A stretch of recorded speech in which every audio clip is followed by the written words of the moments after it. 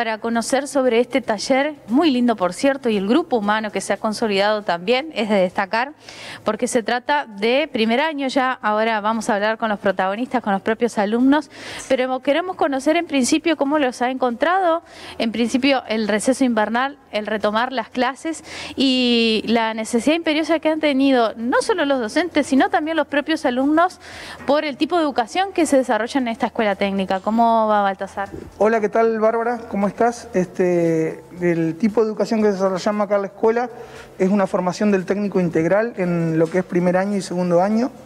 Este, los chicos pasan por todos los talleres, también en tercer año, todos los talleres de la escuela, que son, son varios, son eh, nueve talleres. Este, y entonces el chico eso le da un pantallazo para después en el ciclo superior poder elegir la especialidad. La escuela cuenta con cuatro especialidades, eh, computación, técnico en computación, técnico en construcciones, técnico en electrónica y técnico en electromecánica.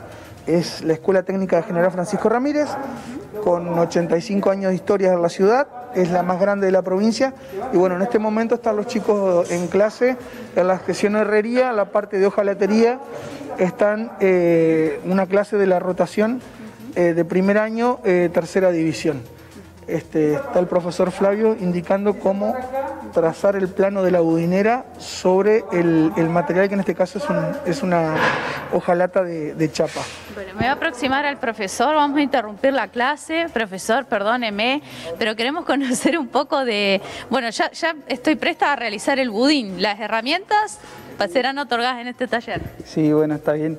Eh, bueno, no, en este caso, como decía Baltasar, que hablaba con vos, Bárbara, eh, estamos tratando de enseñarle a los chicos cómo trazar, cómo utilizar la punta de trazo, ¿no es cierto? Enseñándole ellos por ahí la motricidad fina, eh, es la, habilidad que van a, desarrollar y van a pulir acá justamente de cómo tomar las herramientas. Por ahí son chicos que antiguamente pertenecían al séptimo grado de antes, hoy es primer año de escuela, entonces tienen que operar con tijeras para cortar chapa, que son muy grandes, eh, a las manos de ellos. Mirad, por ejemplo.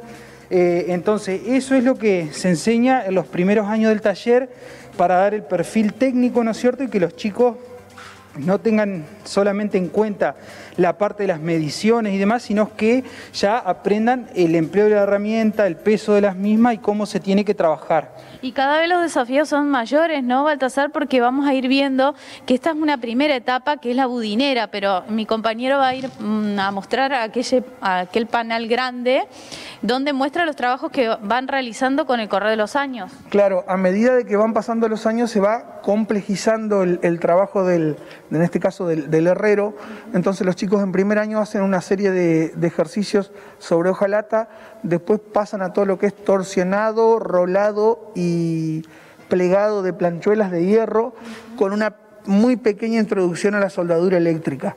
Después ya en segundo año avanzamos un poco más, ya trabajan otros sistemas de, de, máquinas herramientas, con otro tipo de máquinas herramientas, entonces logramos que construyan una parrilla plegable donde ya eh, hay mucha más práctica de, soldadura eléctrica y de soldadura MIG-MAG.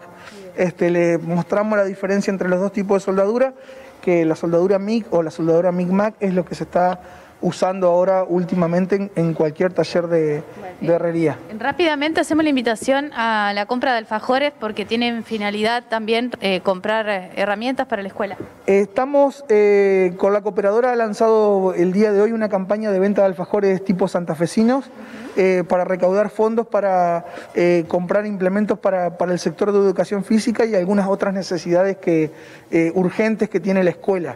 Este, esperamos que los papás y, las familias amigas de la escuela este, acompañen y colaboren con, la compra de, alfajores. ¿Dónde solicitar? Los pueden solicitar eh, los alumnos y los, padres a través del, cuaderno de comunicaciones con el preceptor de los chicos y si no durante los tres turnos a la regencia de la escuela.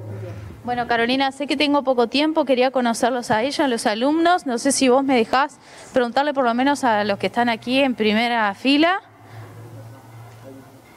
Dale, dale, lo escuchamos con el testimonio de su estudio en la escuela técnica. Bueno, a ver, vamos a conocerlo. ¿Tu nombre? Lucas. ¿Edad?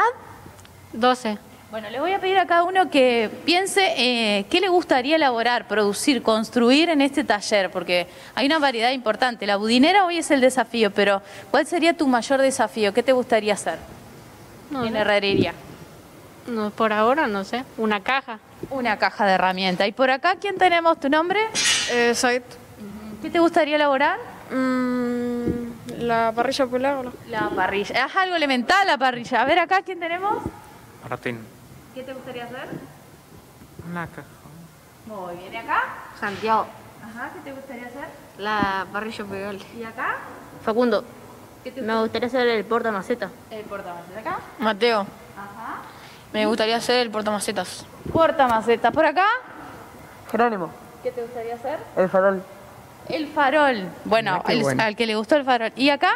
Eh, Luciano, ¿Y qué te gustaría hacer? eh, la caja de herramientas. Caja de herramientas. Bueno, Caro, Para todos los acá tenemos la parrilla. Falta el asado acá, Qué en la bueno. Escuela Técnica número uno.